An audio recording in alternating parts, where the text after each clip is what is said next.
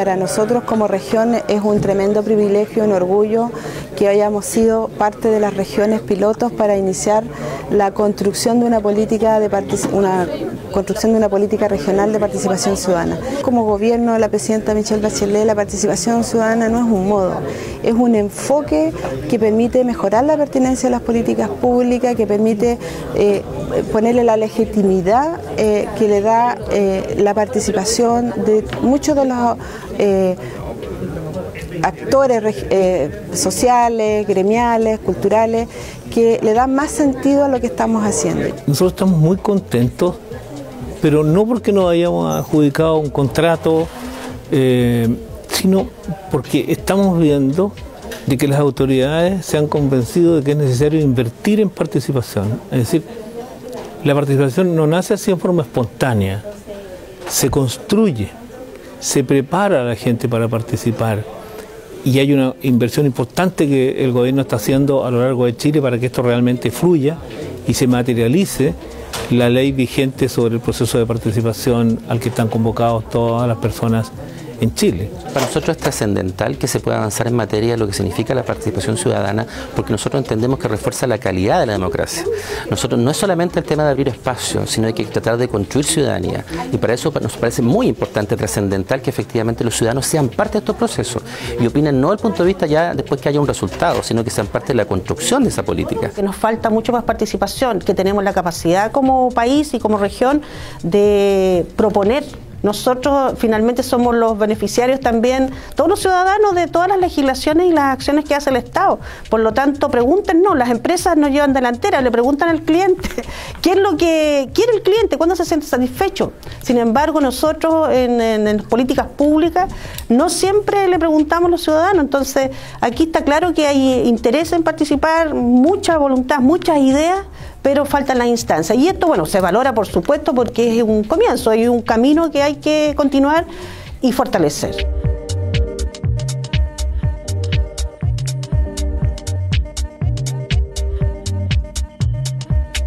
Cada región va a descubrir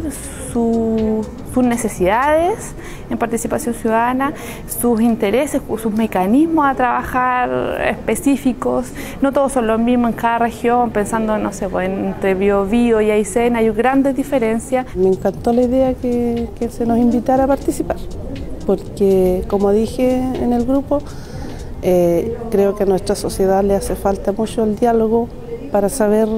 de nosotros mismos como ciudadanos y como dirigente para ver cierto qué está haciendo un dirigente de la comuna de, de, Chillán, en este caso, San Fabián, y, creo que sentimos, o sea, no, nos vimos muy reflejados en, el trabajo que se ha hecho acá. Somos poco valorados, porque hacemos una pega inmensa por nuestra comunidad,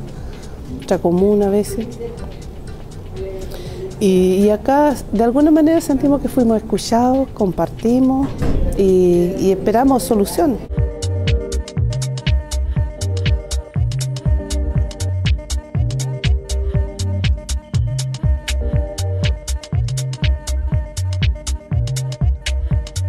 El gobierno regional del Biobío, eh, a través de una política implementada por el intendente Rodrigo Díaz y en colaboración con la Universidad del Biobío, se está haciendo el diagnóstico, se están proponiendo las medidas para que desde la misma base, desde la misma dirigencia social, ¿no es cierto?, se propongan cuáles son las medidas que puedan remediar, que puedan remediar esta, podríamos decir, ausencia de protocolo, eh, de protocolo vinculante de que sufren los dirigentes sociales cuando eh, participan, participan para hacer derechamente democracia, porque eso es lo que hacen. Eh, ya lo he dicho en varias oportunidades, no sé si aquí, pero lo vuelvo a repetir, eh, eh, participar como ciudadano significa ser parte de la ciudadanía. Y uno es parte de la ciudadanía cuando participa activamente en las políticas que se proponen desde la base o que se proponen desde el gobierno, desde el Parlamento, en fin, desde los múltiples entes públicos. Realmente agradezco el espacio que nos ofrecen a los dirigentes sindicales, el, sentir del dirigente sindical es un poquito emocional, esta vocación de servicio es una disposición al 100% y la instrucción que nos dan acá y el espacio se nos amplía la visión respecto de, las vivencias. Excelente eh, todo lo que se hizo porque se puede opinar, se puede comparar con la opinión de los vecinos y todos tenemos como un mismo sentir, el poder avanzar socialmente, el, poder ser más efectivo.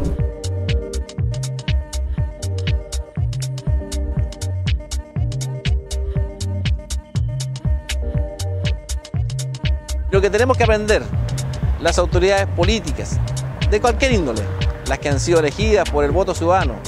o los que hemos sido designados, como en el caso mío, por la Presidenta de la República, tenemos que aprender a conceder poder, a poner en horizontal ese poder, a ser capaces de comprender que cada día tenemos que convertirnos en facilitadores del desarrollo, en donde son los ciudadanos los que están tomando decisiones a partir de ese empoderamiento de lo que hay que hacer. Es una magnífica forma de ver la sociedad, en la cual cada uno de ustedes, mujeres y hombres, jóvenes y niños, están siendo parte de las decisiones colectivas para construir el presente y sobre ese presente el pilar para el futuro. Bienvenida a la participación ciudadana para que se quede y se mantenga en el tiempo y sea el actor protagonista de la construcción de un Chile distinto, de un territorio distinto. Siempre hemos sido un poco excluidos del tema de la participación hacia las políticas públicas.